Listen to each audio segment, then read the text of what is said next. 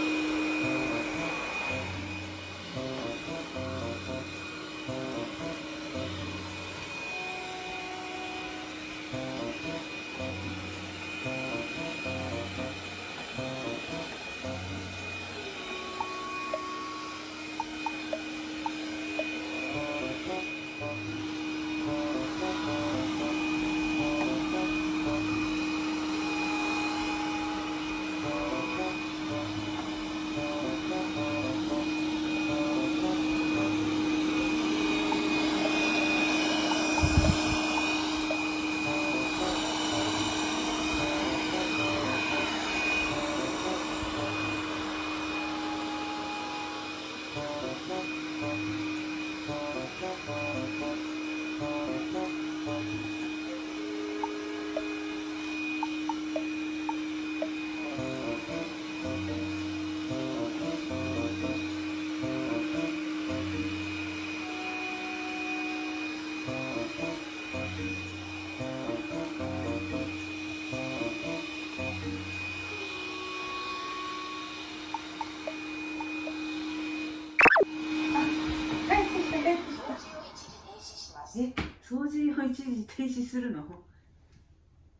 どういうこと？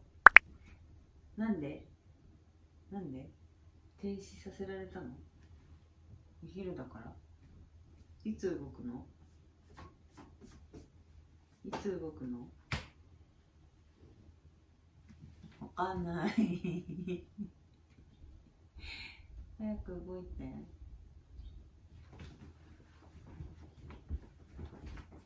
はいということこのように一時停止しますって言ってみたりあとあのー電気のコードとか結構ごちゃごちゃしてるところがあるんだけどうち。そこに行って掃除してくれたら今度は、何かが絡まっていますみたいなその電気のコードが絡まっていますみたいなことも言ってくれるんですよ、うん、だからね分かりやすい。でもいないとあのそれがねわからないから掃除えっ、とね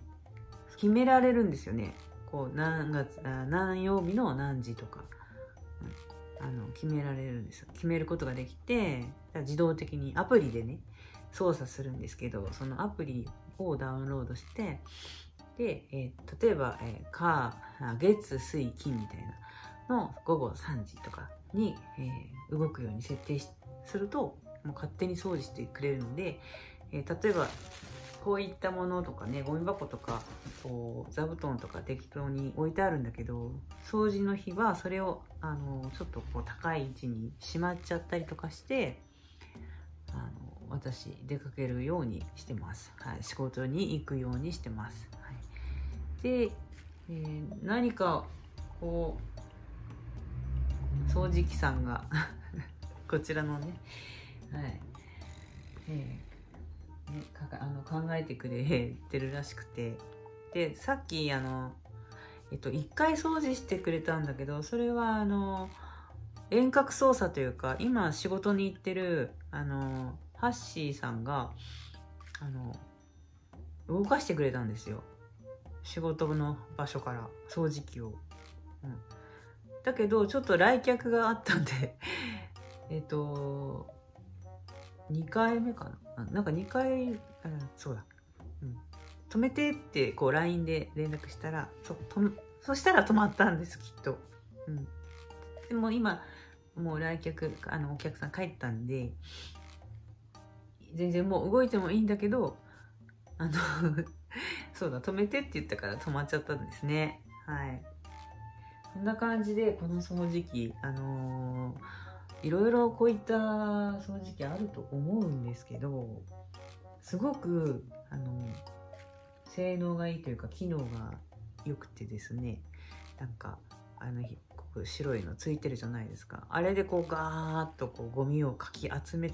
あの髪の毛とかね拾ってってくれてあと水を入れる場所があるんだけど水を入れてえっとね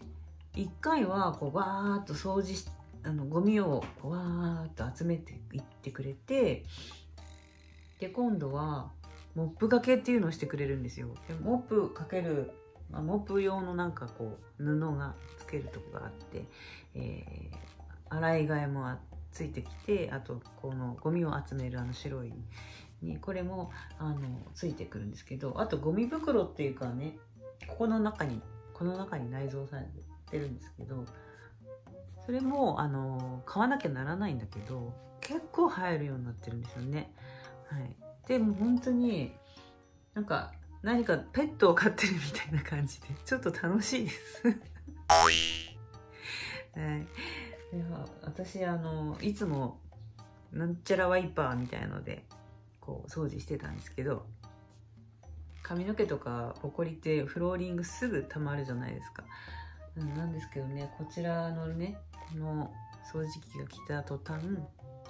本当にそのあの何？モップがけまで水水を使いながらのねモップがけまでしてもらえるから